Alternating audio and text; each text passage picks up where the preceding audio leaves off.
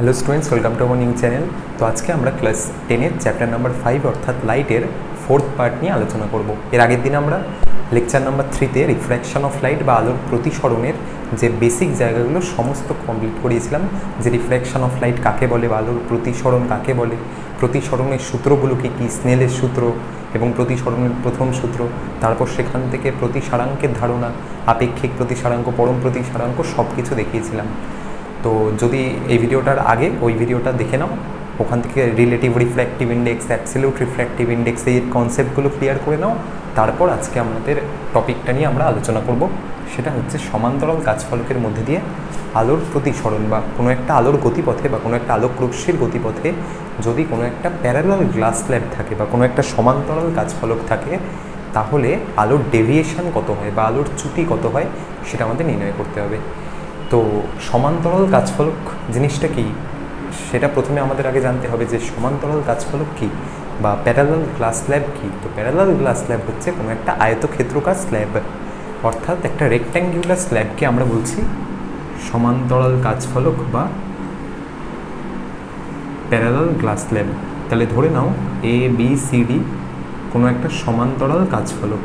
এ B C D কোনো একটা সমান্তরাল গাছফলক যেখানে এবি এবং সিডি এই তল দুটো পরস্পর পরস্পরের সাথে সমান্তরাল। তাহলে এবি তলটা সিডি তলের সাথে সমান্তরাল। আমরা জানি যে আয়তক্ষেত্রের প্রপার্টিও তাই বা রেক্ট্যাঙ্গেলের প্রপার্টিও তাই যে রেক্ট্যাঙ্গেলেরও দুটো বিপরীত বাহু পরস্পর সমান্তরাল এবং দুটো বিপরীত বাহু সন্নিহিত দুটো বাহু পরস্পর লম্ব। তাহলে এবি এবং সিডি এই দুটো সমান্তরাল সমান্তরাল কাজফলকের জন্য। এবার এটাকে আমরা কাজফলক কেন বলছি? কারণ এটা কাজ দিয়ে তৈরি হয়েছে, তাই জন্য। অর্থাৎ এর মিডিয়ামটা হচ্ছে কাঁচ বা গ্লাস তাহলে এর যে মিডিয়ামটা সেটা হচ্ছে কাচ বা গ্লাস তাহলে এই সমান্তরাল গাছফলকটাকে আমরা বায়ু মাধ্যমে রেখেছি। তাহলে বায়ু মাধ্যমে যদি কোনো একটা সমান্তরাল গাছফলককে রাখি, তাহলে আমরা দেখব তার মধ্যে দিয়ে আলোর প্রতিসরণটা কী কীরকম হচ্ছে? বা প্রতিসরণের ফলে আলোক রশ্মির কি কোনো ডেভিয়েশন হচ্ছে নাকি কোনো ডেভিয়েশনই হয় না? সেটা আমরা ক্যালকুলেট করব। তো এবিসিডি হচ্ছে কোনো একটা সমান্তরাল গাছফলক যেখানে এবিটা সিডির সাথে সমান্তরাল। তাহলে ওপরের মাধ্যমটা বায়ু মাধ্যম বা এই মিডিয়ামটা এয়ার মিডিয়াম এবং নিচের মিডিয়ামটাও এয়ার মিডিয়াম অর্থাৎ বাতাস কোনো একটা মাধ্যমের মধ্যে বা বায়ু মাধ্যমের মধ্যে আমরা সমান্তরাল গাছফলকটাকে রেখেছি। তাহলে চারদিকে বায়ু মাধ্যম এবং মাঝখানে সমান্তরাল কাজ গাছফলকটা রয়েছে এবিসিডি এবার আমরা ধরছি কোনো একটা আলোক রশ্মি বায়ু থেকে এই সমান্তরাল গাছফলকের ওপর আপতিত হচ্ছে। তাহলে ধরে নাও কোনো একটা আলোকরশ্মি পিকিউ তাহলে পিকিউ কোনো একটা আলোকরশ্মি বায়ুমাধ্যম থেকে সমান্তরাল কাজফলকের ওপর আপতিত হচ্ছে। তাহলে পিকিউ আলোকরশ্মিটা বায়ুমাধ্যম থেকে কাজ মাধ্যমে আপতিত হয়েছে কিউ বিন্দুতে। এবি তলের ওপর।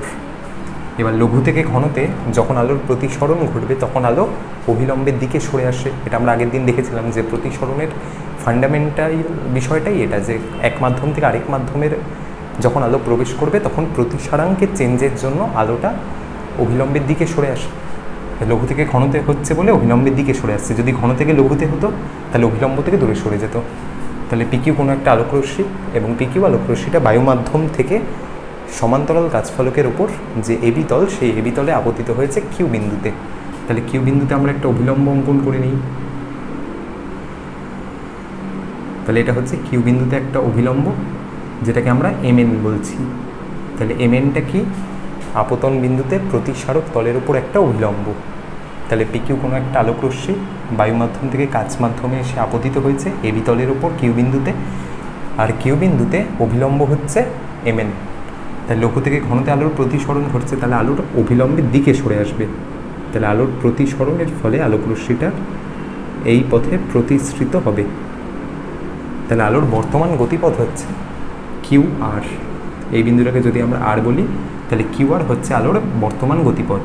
তাহলে পি কিউ হচ্ছে আপতিত আলোক রশ্মি কিউ আর হচ্ছে প্রতিশ্রিত আলোক রশ্মি এবার লক্ষ্য করো, এই যে কিউআর আলোক রশ্মিটা এই কিউআর আলোক রশ্মিটা সমান্তরাল গাছফলকের ওপর যে সিডি তল আছে, সেই সিডি তলের ওপর আর বিন্দু থেকে আপতিত হচ্ছে। কিবার আলোক রশ্মিটা সমান্তরাল গাছফলকের যে সিডি তল আছে, সেই সিডি তলের উপর আর বিন্দুতে গিয়ে আপতিত হচ্ছে। তাহলে এবার কিউআর আলোক রশ্মিটা আপতিত আলোক রশ্মি এবং আর বিন্দুতে আমরা একটা অভিলম্ব অঙ্কন করব। তাহলে এটা হচ্ছে আর বিন্দুতে একটা অভিলম্ব তাহলে কিউআর হচ্ছে আপতিত আলোকরশ্মি। তাহলে প্রতিশ্রিত আলোকরশ্মিটা কী হবে? ঘনমাধ্যম থেকে লঘু মাধ্যমে আলোর প্রতিসরণ ঘটছে। তাহলে ঘন থেকে লঘুতে যখন আলোর প্রতিসরণ ঘটে, তখন আলোটা অবিলম্ব থেকে দূরে সরে যায়। তাহলে এবার আলোকরশ্মির, এবার আলোকরশ্মিটা অবিলম্ব থেকে দূরে সরে যাবে, অর্থাৎ এই পথে আলোকরশ্মিটা প্রতিশ্রিত হবে। অ্যারোগুলো দেওয়া ম্যান্ডেটরি পিকিউ আলোকরশ্মিটা বায়ু থেকে কাছে এসে পড়ছে? কিউআর আলোকরশ্মিটা? প্রতিশ্রিত আলোকরশ্মি। যেটা কাচ মাধ্যমের মধ্যে প্রতিষ্ঠিত হয়েছে এবং এই যে আর এস আলোকরশ্মিটা এই বিন্দুটা, এই বিন্দুটাকে যদি আমরা এস বলি, তাহলে এই সরলরেখাটা হচ্ছে আর এস তাহলে এই আর এস আলোকরশ্মিটা নির্গত আলোকরশ্মি বা ইমার্জেন্ট রে তাহলে আমাকে দেখতে হবে যে আপতিত আলোকরশ্মি আর এই নির্গমন যে আলোকরশ্মি বা নির্গত আলোকরশ্মি এদের মধ্যে সম্পর্ক কী? সেটা আমাকে ক্যালকুলেট করতে হবে। তাহলে আমরা এবার অ্যাঙ্গেলের বিষয়ে আসছি। তাহলে অ্যাঙ্গেল কী হবে? বলছে যে পিকিউ আপতিত আলোকরশ্মি এবং এম এন আপতন বিন্দুতে প্রতিসারক তলের উপর অঙ্কিত অভিলম্ব। তাহলে এটা আপতিত আলোকরশ্মি, এটা অভিলম্ব। তাহলে আপতিত আলোকরশ্মি আর অভিলম্বের মাঝের অ্যাঙ্গেলটাকে আমরা আপতন কোণ বলি বা অ্যাঙ্গেল অফ ইনসিডেন্স বলি। তাহলে এই কোণটা হচ্ছে অ্যাঙ্গেল অফ ইনসিডেন্স বা আপতন কোণ। এই কোণটাকে আমরা বলছি আই ওয়ান। তাহলে অ্যাঙ্গেল পি কিউ এম হচ্ছে আই ওয়ান বা যেটাকে আমরা অ্যাঙ্গেল অফ ইনসিডেন্স বলছি। তাহলে আই ওয়ান কোণে পিকিউ আলোকরশ্মিটা এবি তলের ওপর আপতিত হয়েছে। তাহলে প্রতিশ্রিত আলোকরশ্মি এবং অভিলম্ব এদের মধ্যেকার অ্যাঙ্গেলটাকে আমরা বলব আর ওয়ান। তাহলে কিউআর হচ্ছে প্রতিশ্রিত আলোকরশ্মি আর এমএন হচ্ছে আপতন বিন্দুতে প্রতিসারক তলের ওপর অঙ্কিত অভিলম্ব। তাহলে এই দুটো সরলরেখার মধ্যবর্তী কোণটা হচ্ছে আর ওয়ান। তাহলে এই অ্যাঙ্গেলটা হচ্ছে আর ওয়ান। তাহলে অ্যাঙ্গেল আর কিউ এন। এটা হচ্ছে আর ওয়ান বা প্রতিসরণ কোণ। তাহলে অ্যাঙ্গেল পি কিউ এম হচ্ছে আপতন কোণ বা I one angle R Q N হচ্ছে প্রতিসরণ কোণ বা আর ওয়ান এবার লক্ষ্য করো কিউআর আলোক রশ্মিটা আবার সিডি তলের উপরে এসে আপতিত হয়েছে। তাহলে সেকেন্ড কন্ডিশনে কিউআর আলোক রশ্মিটা আপতিত আলোক রশ্মি আর এস আলোক রশ্মিটা প্রতিশ্রিত আলোক রশ্মি। তাহলে কিউআর আলোক রশ্মি আর এই অভিলম্ব, এদের মাঝের অ্যাঙ্গেল হচ্ছে, তাহলে এটা যদি আর বিন্দু হয়, তাহলে এটাকে আমরা ডিই বলছি। যেটা একটা পয়েন্ট হচ্ছে ডি আর এটা একটা পয়েন্ট হচ্ছে ই তাহলে অ্যাঙ্গেল কিউ আর ডি এই কোণটা হচ্ছে আর টু বা অ্যাঙ্গেল অফ ইনসিডেন্স সিডি তলের ওপর আলোর প্রতিসরণের ক্ষেত্রে, তাহলে সিডি তলের ওপর আলোর প্রতিসরণের ক্ষেত্রে আপতিত আলোক রশ্মি কিউ আর অভিলম্ব ডিই তাহলে কিউ আর এবং ডিই এই দুটো সরলরেখার মাঝের এই অ্যাঙ্গেলটা এই অ্যাঙ্গেলটা, এটা হচ্ছে আমার আর টু বা অ্যাঙ্গেল অফ ইনসিডেন্স এক্ষেত্রে আর টুটা হচ্ছে অ্যাঙ্গেল অফ ইনসিডেন্স আই ওয়ানটা এখানে অ্যাঙ্গেল অফ ইনসিডেন্স ছিল, এখানে আর ওয়ানটা অ্যাঙ্গেল অফ রিফ্র্যাকশন ছিল আর টুটা হচ্ছে অ্যাঙ্গেল অফ ইনসিডেন্স তাহলে D R Q angle D R কিউটাকে আমরা বলছি আর টু আর এই নির্গত আলোকরশ্মি আর এস এবং অভিলম্ব, এদের মাঝের অ্যাঙ্গেলটাকে বলছি আমরা আই টু তাহলে অ্যাঙ্গেল এস এন ই এই কোণটাকে বলছি আমরা আই টু তাহলে এবার দেখো আই ওয়ানটা হচ্ছে আপতন কোণ আর ওয়ানটা হচ্ছে প্রতিসরণ কোণ। আর টুটা হচ্ছে আপতন কোণ আই টুটা হচ্ছে প্রতিসরণ কোণ বা নির্গমন কোণ। অর্থাৎ আর এস হচ্ছে নির্গত আলোকরশ্মি পিকিউ হচ্ছে আপতিত আলোকরশ্মি আমাকে দেখাতে হবে যে আপতিত আলোকরশ্মির সাথে নির্গত আলোকরশ্মির একটা সম্পর্ক। সেটা আমরা এস্টাবলিশ করব স্নেলের সূত্র দিয়ে। তো কী করে প্রুফটা করব আমরা? বলছে এবি তলে আলোর প্রতিসরণের জন্য এবি তলের মধ্যে দিয়ে যখন আলোর প্রতিসরণ ঘটছে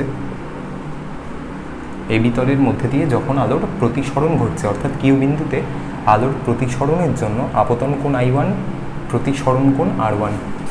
এই অ্যাঙ্গেলটা হচ্ছে আই ওয়ান, এই অ্যাঙ্গেলটা হচ্ছে আর ওয়ান। তাহলে এটাকে আমরা বলছি এয়ার এটাকে আমরা বলছি গ্লাস বা কাচ। তাহলে আগের দিন আমরা দেখেছিলাম relative refractive index relative refractive ইন্ডেক্সে কী বলে? বলছে যে এয়ার থেকে কোনো একটা আলোকরশ্মি গ্লাসের প্রতিসরণ ঘটেছে। তাহলে এয়ার সাপেক্ষে গ্লাসের প্রতিসারাঙ্ক equal to sine I by sine R অর্থাৎ আপতন কোণের সাইন ডিভাইডেড বাই প্রতিসরণ কোণের সাইন করলে আমরা এয়ার সাপেক্ষে গ্লাসের প্রতিসরাঙ্ক পেয়ে যাব।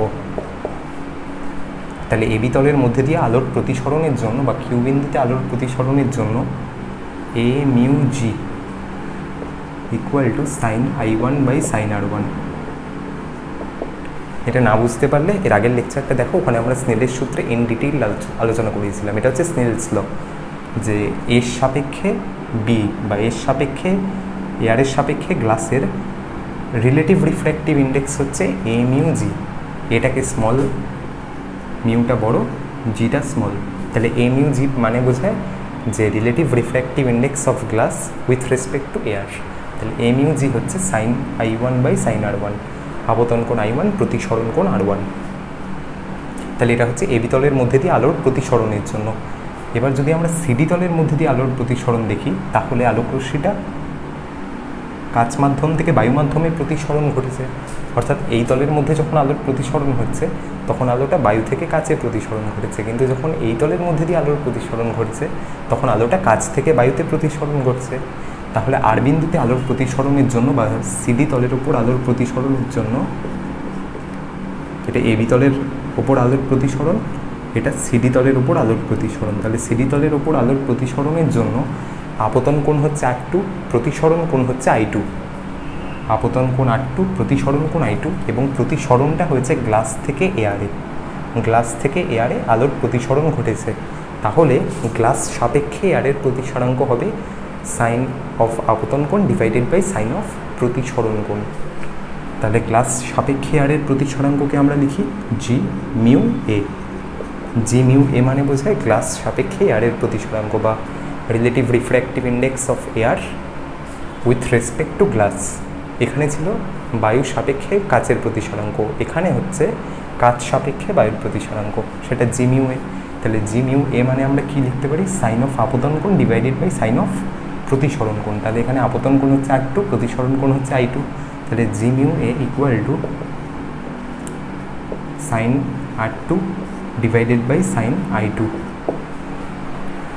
তাহলে এয়ার সাপেক্ষে গ্লাসের প্রতিসরাঙ্ক আমরা দেখলাম sine I one by sine R one glass সাপেক্ষে এয়ারের প্রতিসরাঙ্ক আমরা দেখলাম sine R two by sine I two এবার এয়ার সাপেক্ষে গ্লাসের প্রতিসরাঙ্ক আর গ্লাস সাপেক্ষে এয়ারের প্রতিসরাঙ্ক, এই দুটোর মধ্যে কোনো সম্পর্ক আছে?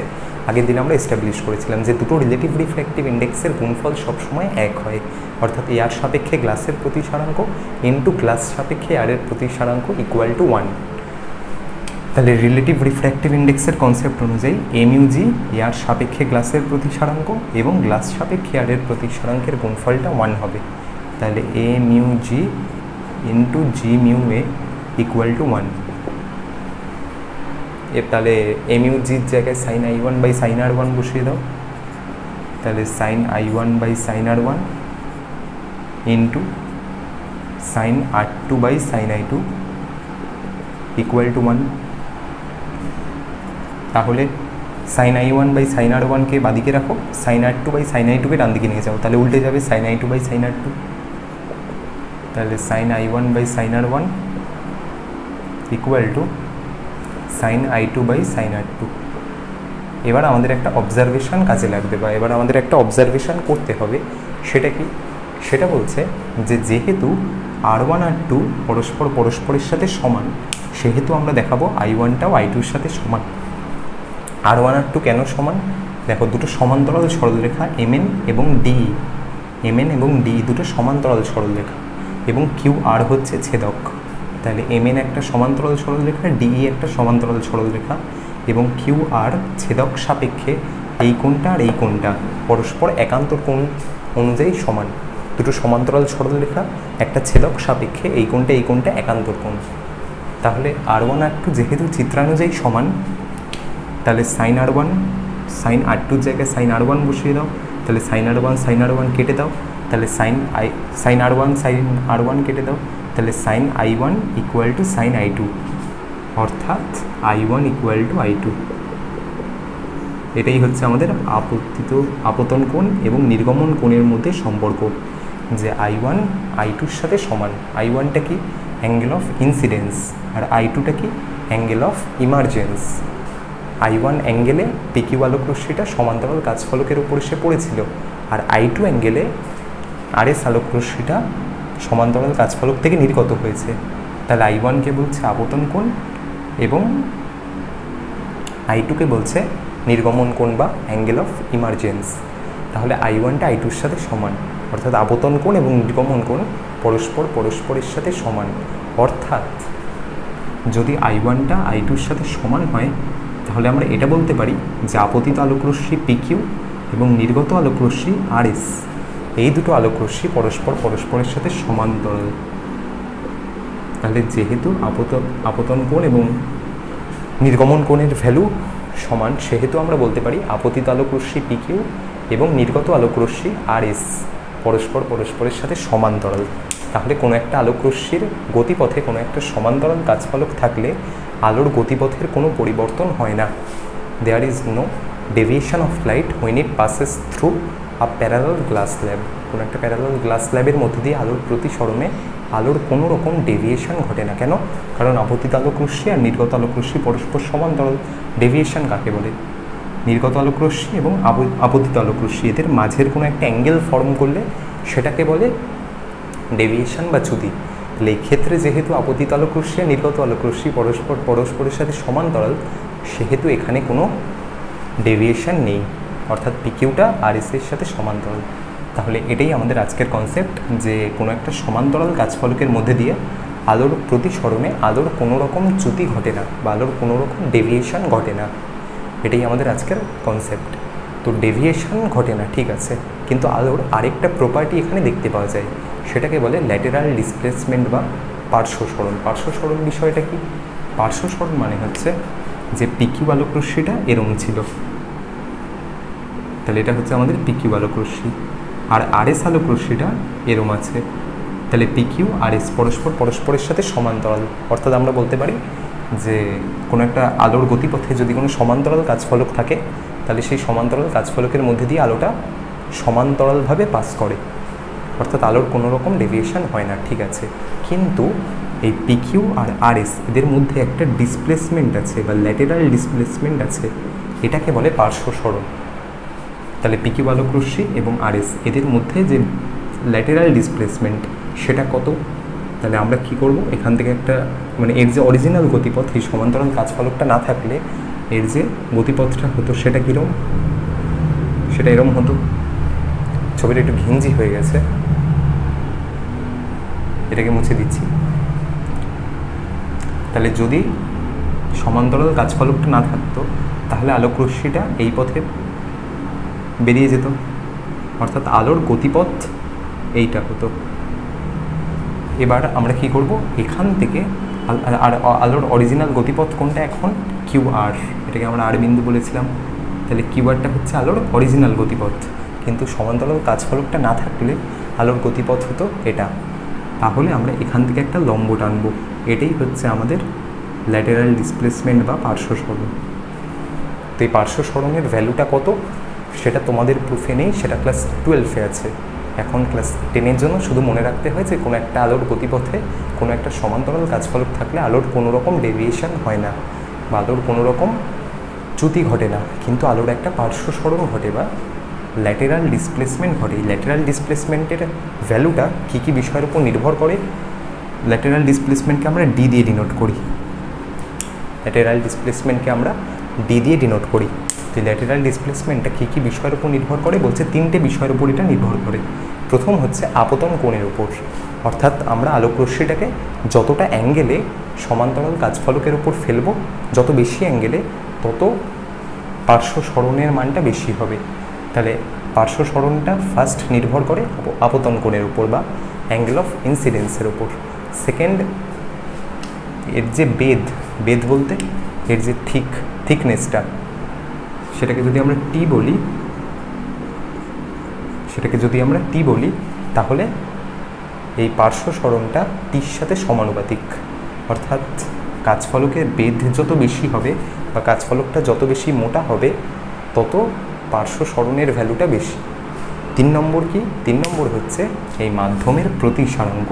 এখানে আমরা এটাকে কাজফলক নিয়েছি। আগে থেকেই বলে দিয়েছিলাম যে এটা একটা সমান্তরাল কাজফলক কিন্তু এখানে কাছের জায়গায় আমরা অন্য কোনো মিডিয়ামও ইউজ করতে পারতাম। তাহলে অন্য মিডিয়াম ইউজ করার এটা সুবিধাটা কি? আমরা প্রতিসারাঙ্ক চেঞ্জ করতে পারব। যত বেশি প্রতিসারাঙ্ক বাড়াবো মানে এমন কোনো একটা মাধ্যম আমরা এখানে রাখব যার প্রতিসারাঙ্কটা কাচের থেকে বেশি। তাহলে কাচের থেকে বেশি প্রতিসারাঙ্ক বিশিষ্ট কোনো মাধ্যম রাখলে যত বেশি প্রতিসারাঙ্ক হবে, তত বেশি ল্যাটেরাল ডিসপ্লেসমেন্ট ঘটবে।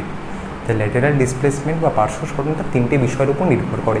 প্রথম হচ্ছে আপতন কোণ বা অ্যাঙ্গেল অফ ইনসিডেন্স সেকেন্ড হচ্ছে এই কাজফলকটার বেদ কাজফলকটা কতটা মোটা? যত বেশি বেধের কাজফলক হবে, তত আপতন কোণের ভ্যালু বা তত পার্শ্ব সরণের মানটা বৃদ্ধি পাবে। আর তিন নম্বর কি? তিন নম্বর হচ্ছে প্রতিসারাঙ্ক, অর্থাৎ কাজফলকের যে প্রতিসারাঙ্ক, সেটার উপর ডিপেন্ড করে।